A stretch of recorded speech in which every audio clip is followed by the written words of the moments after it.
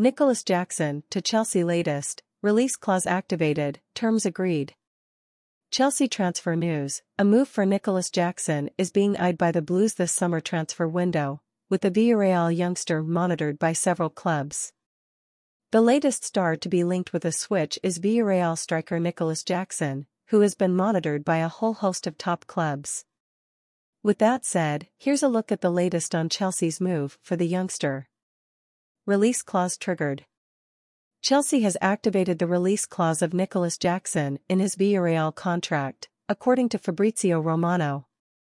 As a result, the Blues are set to pay 35 million euros, 30 million pounds, but are discussing the installments the transaction will be paid in as other clubs circle a deal.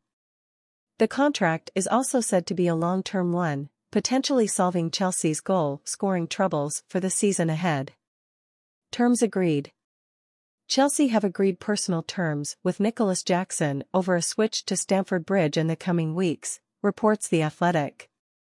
The youngster has committed to the move, with the Blues looking to strike a deal with Villarreal to get the transfer over the line before other clubs are involved.